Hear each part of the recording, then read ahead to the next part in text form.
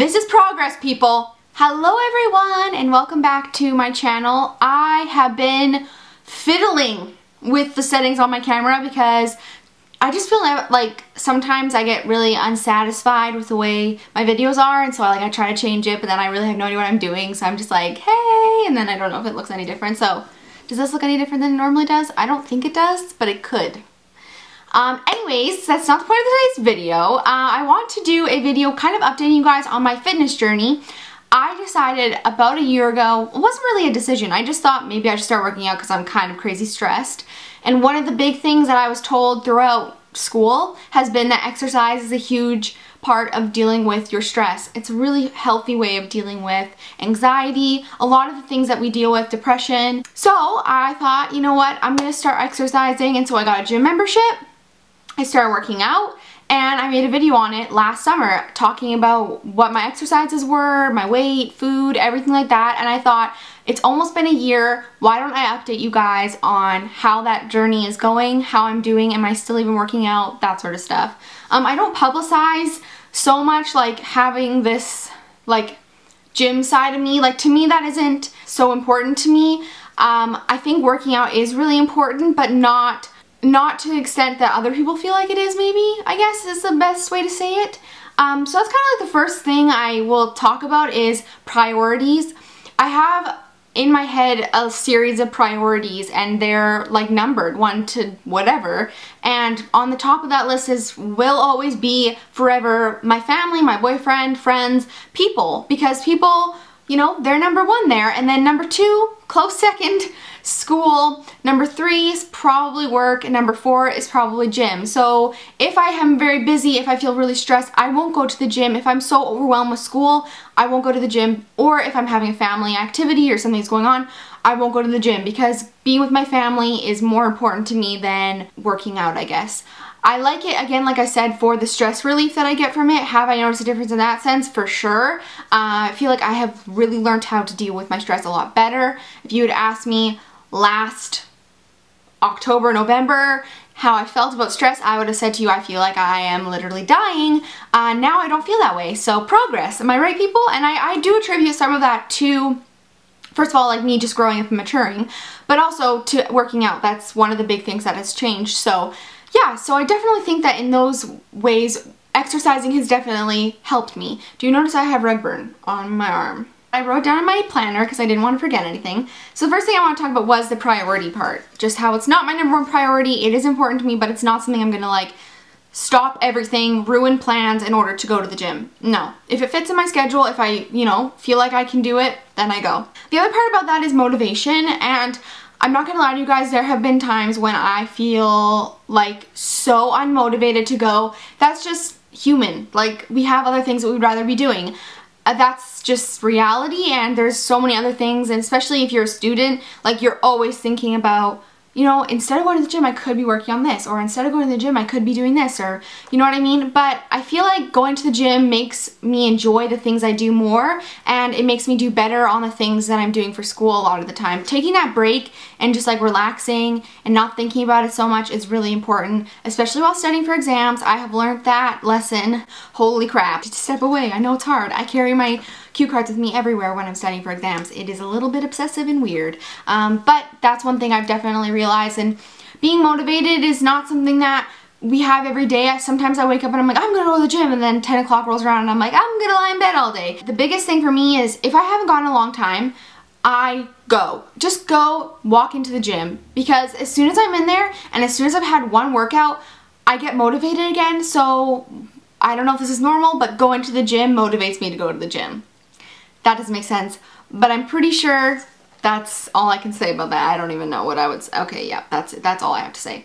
You always see other people there that look really good and you're just like, you know what, I, you know, I can work hard and I want to do that too. Probably won't ever be, you know, have stick legs, but that's okay. You know, I'll go to, I'll do stuff. Yeah, I, I, I do get motivated by going to the gym and just feeling that like burn of exercise, but also seeing other people and being inspired by them and their stories and how, you know, yeah, I just think it's very inspiring. New workouts, I have been really focusing on the high knee because the hiney. Do you know what that is? That's, that's I'm, referring to my bum. I don't know if people still call it a hiney. I feel like that might just be me. It's really important to like focus on the things, first of all, that you don't like and focus on those to try to change them, but also focus on the things that you do like and try to better them and make them even better than you already think they are. I think my butt is pretty good, but there's always there's always work that can be done there. And so I do a lot of squats, I do a lot of that, and I also have this like weird like obsession with maybe potentially having a six pack one day, which is not happening right now. I have like a four pack or like a two pack.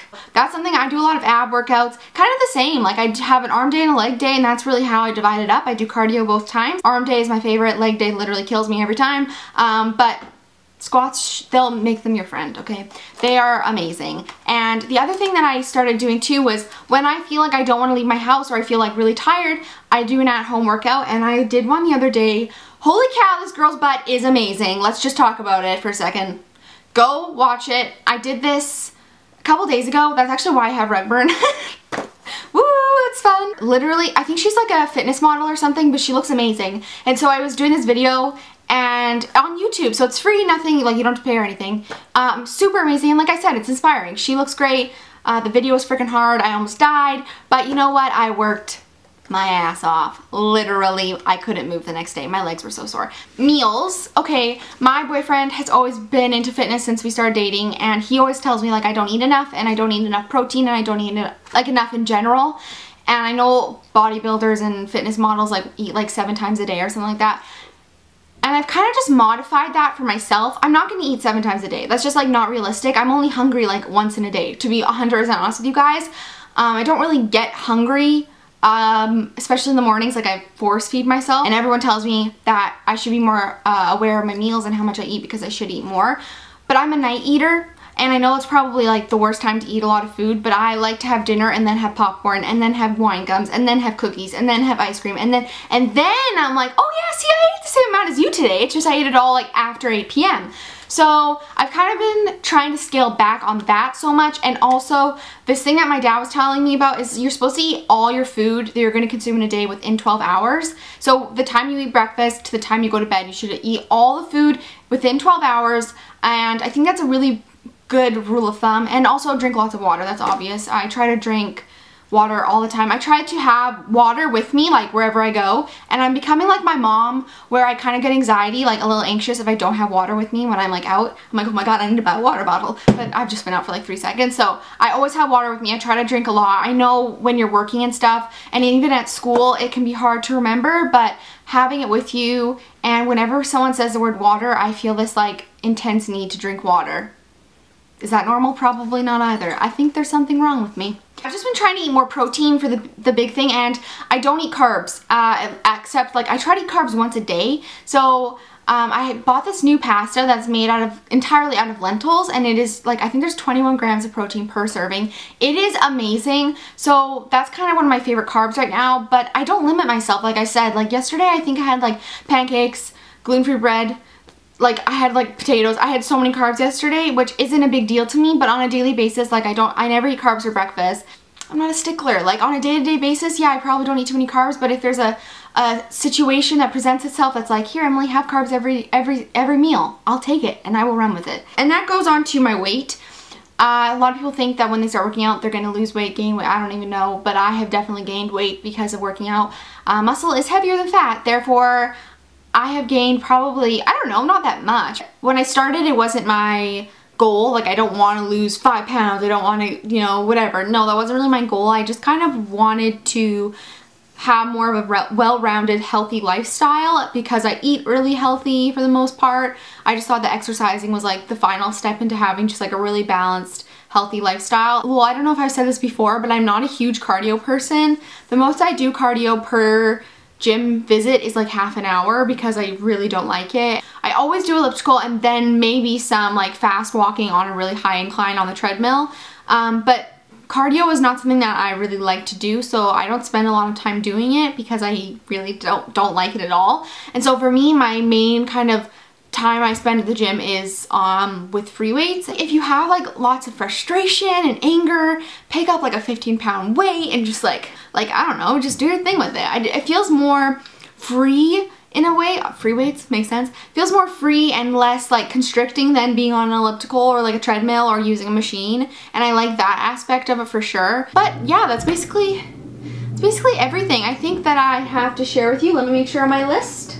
Main thing I'm working on right now is just relieving that stress, being healthy, toning my body. I think it's more important to think of yourself as a healthy person than a skinny person. I think that's really important and that's kind of what I've been working towards. I want to be, like I want to feel healthy inside, not just look like I don't eat. Because I do eat. I don't think I look like I don't eat, but. So that's basically everything. I hope you guys enjoyed this. Let me know down below if you guys like to work out. If you hate it, let me know. Um, what are your favorite healthy foods? What is your, favorite snack that's healthy? Because you know I love food. I hope you guys enjoyed this and I will see you all soon. Bye!